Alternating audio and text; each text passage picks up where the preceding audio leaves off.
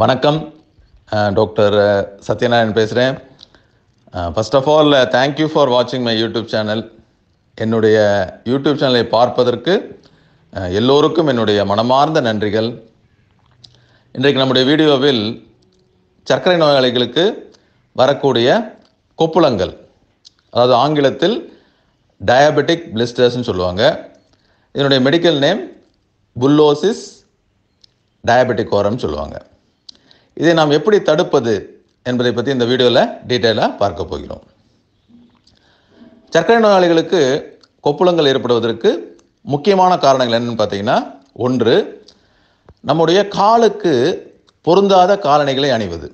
அதாவது ஒரு நான் ஃபிட்டிங் ஷூவை வந்து நாம் அணியும் போது இந்த கொப்புளங்கள் ஏற்படலாம். இரண்டாவது reduced circulation to the lower லிம்ஸ்னு சொல்லுவாங்க. அதாவது கால்களுக்கு செல்லக்கூடிய ரத்த ஓட்டம் குறையும் போது இந்த கொப்பளங்கள் ஏற்படலாம். பொதுவாக சர்க்கரை இருப்பவர்களுக்கு பெரிஃபரல் வேஸ்குலர் டிசீஸ் இருக்கும். இதனால் கால்களுக்கு பொதுவாக இரத்த ஓட்டம் குறைவாக செல்லும். மூன்றாவது நம்முடைய கால்களில் ஏற்படக்கூடிய ஒரு சிறு காயமோ இல்லை ஒரு இரிட்டேஷனோ வந்து இந்த கொப்பளங்களை ஏற்படுத்தலாம். இது எதனால் ஏற்படும் பார்த்தீங்கன்னா நம்ம காலணிகள் அணியாமல் வெளியில் நடந்து செல்லும் போது இது ஏற்படலாம். நான்காவது ஒரு பூஞ்சை இதனால் ஏற்படக்கூடிய ஒரு இன்ஃபெக்ஷன் இது வந்து கேண்டைடா ஆல்பிகன்ஸ்னு சொல்லுவாங்க.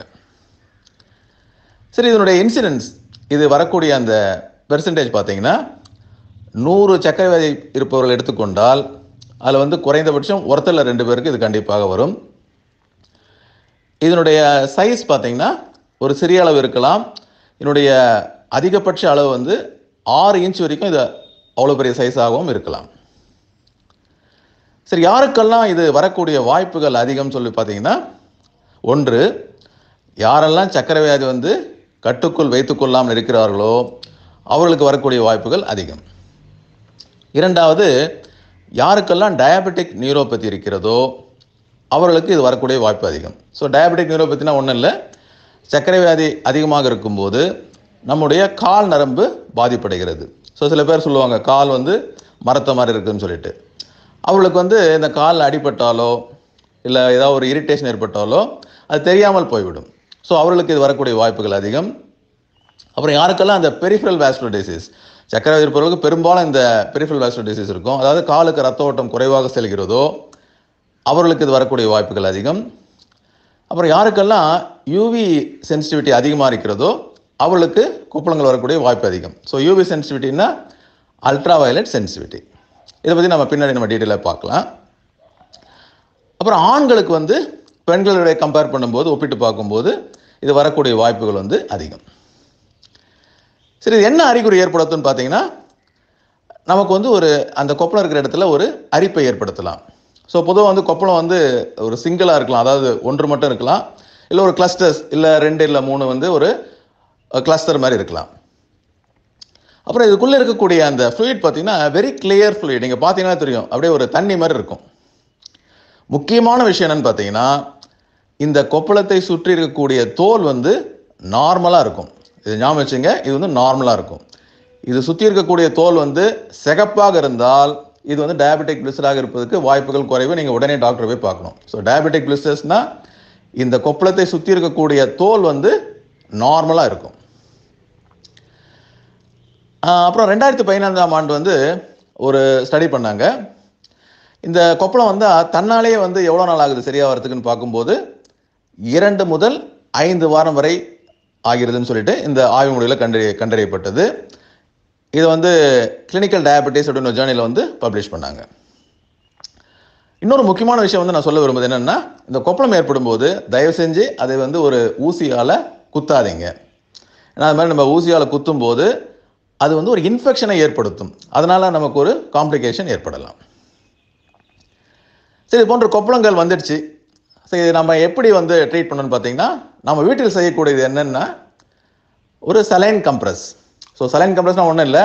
நீங்கள் மெடிக்கல் ஷாப்பில் போனீங்கன்னா ஒரு நார்மல் சலைன் அதாவது zero point nine percent saline சொல்லுவாங்க. இதை வாங்கி கொண்டு வந்து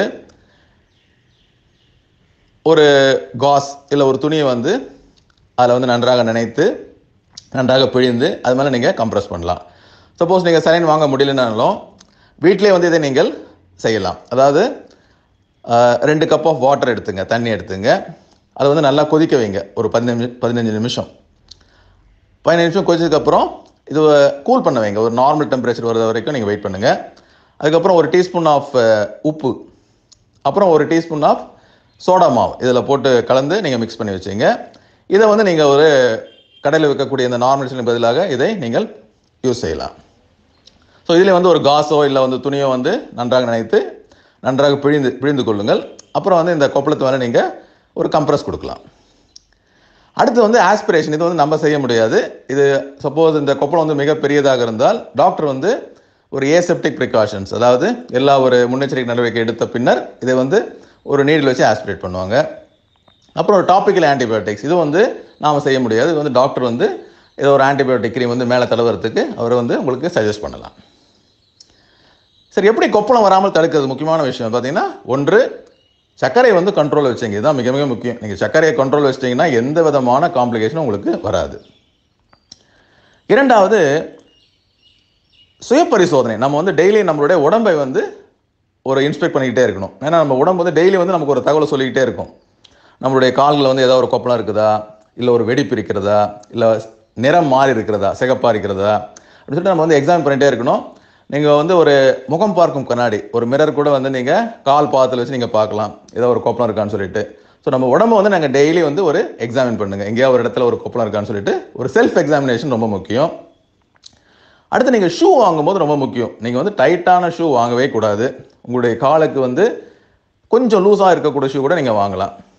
அடுத்து ஷூ போடும்போது யூஸ்வலாக நம்ம வந்து ஒரு வேகமாக போடும் ஷூ ஒரு அர்ஜென்ட்டில் வெளியில் கிளம்பும்போது வேகமாக போடும் அது மாதிரி பண்ணக்கூடாது ஏன்னா நம்ம வேகமாக ஷூ போடும்போது அந்த ஃபோர்ஸில் வந்து ஒரு இரிட்டேஷன் ஏற்படலாம். அதனால் வந்து ஒரு கொப்பளம் ஏற்படலாம். அப்புறம் முக்கியமான விஷயம் என்னென்னா நீங்கள் ஷூ போடும்போது சக்கரவர்த்தி பொருட்கள் சாக்ஸ் போடாமல் நீங்கள் ஷூ போடவே கூடாது. ஏன்னா இந்த கொப்பளங்கள் ஏன் வருதுன்னா நம்ம ஷூ வந்து வேகமாக போடும்போது அந்த ஒரு ஃப்ரிக்ஷனில் வந்து ஒரு உரசல் ஏற்பட்டு கொப்பளங்கள் ஏற்படுகிறது. ஸோ நம்ம சாக்ஸ் போடும்போது அந்த உரசல் வந்து ஏற்படாமல் தடுக்கப்படுகிறது. அப்புறம் நம்ம சொன்ன மாதிரி அல்ட்ரா வயலட் சென்சிட்டிவிட்டின்னு சொல்லிட்டு ஒன்று இருக்குது அதாவது யாருக்கெல்லாம் வந்து இந்த அல்ட்ரா வயலட் சென்சிட்டிவிட்டி இருக்கிறதோ அவங்க வெயிலில் போகும்போது இந்த கொப்பளங்கள் ஏற்படலாம். ஸோ அது போன்று இருப்பவர்கள் வெயிலில் போகும்போது ஒரு சன்ஸ்கிரீன் லோஷன் வந்து நீங்கள் கால்லையும் கையிலையும் வந்து தடவி கொள்ளலாம். அப்புறம் நீங்கள் வேலை செய்யும்போது முடிஞ்சால் நீங்கள் ஒரு க்ளோஸ் போட்டுங்க. ஏன்னா நம்ம தெரியாமல் வேலை செய்யும்போது ஏற்படக்கூடிய ஒரு காயமோ இல்லை அந்த டெம்பரேச்சர் வந்து நமக்கு தெரியாது. ஒரு சூடான பொருளை தொடும்போது நமக்கே தெரியாது. ஸோ அப்போ வந்து ஒரு கொப்பளங்கள் உருவாகலாம். நீங்கள் முடிஞ்சால் நீங்கள் க்ளோஸ் போட்டுக்கொள்ளுங்கள். அப்புறம் இது என்ன இடத்துல வந்து ரொம்ப ஃப்ரீக்வெண்ட்டாக வருது? ஸோ அப்படின்னு பார்த்தீங்கன்னா இது வந்து காலில் தான் வந்து யூஸ்வலாக ஃப்ரீக்வெண்ட்டாக வரும். அதாவது நம்மளுடைய கால் விரல்கள் பாதம் அப்புறம் அந்த கால்னு சொல்லுவாங்கல்ல அந்த லெக் அந்த நீக்கு கீழே. இது வரக்கூடிய வாய்ப்புகள் அதிகம். அப்புறம் எப்பெல்லாம் வந்து நம்ம டாக்டர்கிட்ட உடனே போகணும் அப்படின்னு பா- பார்த்தீங்கன்னா ஒன்று வந்து இந்த கொப்பளத்துலேருந்து நமக்கு வந்து ஒரு வலி ஏற்படுகிறது அப்படின்னா உடனே நீங்கள் டாக்டர் போய் பார்க்கணும். இரண்டாவது நான் முன்னே சொன்னேன் இந்த டயபெட்டிக் பிளிஸ்டர்ஸ் இந்த சர்க்கரை வியாதினால் வரக்கூடிய இந்த டயபெட்டிக் கொப்பளங்கள் வந்து சுற்றி இருக்கக்கூடிய தோல் வந்து நார்மலாக இருக்கும். ஸோ சுற்றி இருக்க தோல் வந்து சிகப்பாக இருந்துச்சுன்னா நீங்கள் உடனே நீங்கள் போய் டாக்டர் போய் பார்க்க வேண்டும்.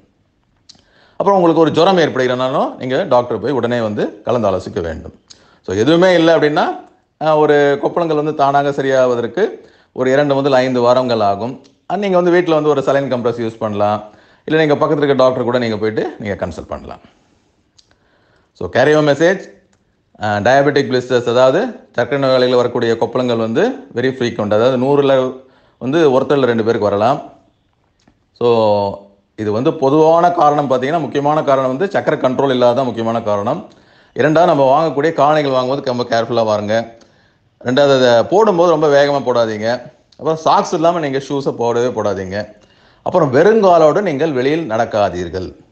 ஸோ இது போன்று நீங்கள் கடைபிடிச்சிங்கன்னா கண்டிப்பாக காலில் கொப்பளம் வராமல் நம்ம பார்த்துக்கொள்ளலாம் ஸோ இன்றைக்கி சொன்ன தகவலாம் உங்களுக்கு பிடிச்சிருக்குன்னு நினைக்கிறேன்.